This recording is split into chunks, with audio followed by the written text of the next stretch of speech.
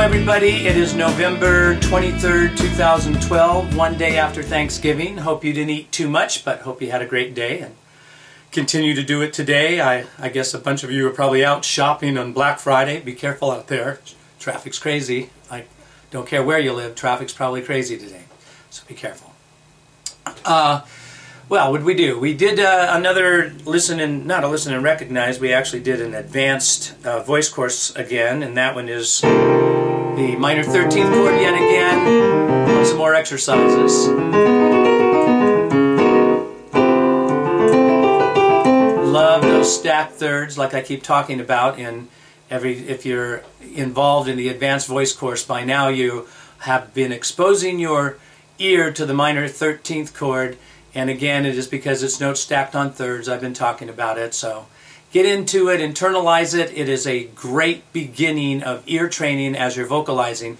If you already understand how to connect your chest, mix, and head via all of the information that's in the intermediate voice course, and even that before the intermediate voice course that you've done your work on understanding onsets and beginnings and sustains and all of those things even in the uh, beginning voice course. So here we are, beginning voice course, intermediate voice course, now into the advanced voice course, and you are going to be seeing so much more than the minor 13th. Uh, that's just where we're at in the releasing of the course, but you're going to learn a lot about all kinds of scales, and I really look forward to doing that because I know by the time a person has taken themselves through that, uh, how much more they advance, how much better they are at so many of the things that people are looking for to become better as a singer. And everybody's always trying to figure out, what do I do to become a better singer?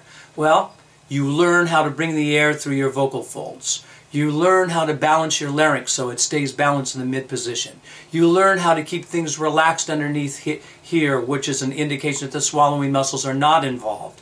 All of these things are covered in the courses. You also uh, want to internalize sounds. You want to learn major scales, minor scales, pentatonic scales, major and minor pentatonic scales, chromatic scales, minor 13th chords, major 13th chords. You want to learn how to listen for what diminished chords are, which is note stacking in thirds. And all of these things happen through uh, in the advanced voice course once you've got the information that you truly need in the beginning and intermediate voice course. So that's very important. And when I say that you have to learn how to understand how to go from your chest mix to your head, you know, there's all kinds of little tips all over the place. And even though I'm talking about the courses all the time now, don't forget that on the on the site that we have all of these songs and song breakdowns that incorporate the things that you're learning in the lessons into the song. So there's all kinds of tidbits and suggestions as you learn how to sing various songs that are involved with the courses.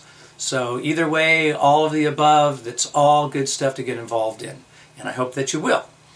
So uh, again, I'm going to wish you all a happy Thanksgiving weekend. Be careful and safe out there. Have a wonderful time. And uh, I will see you guys next week.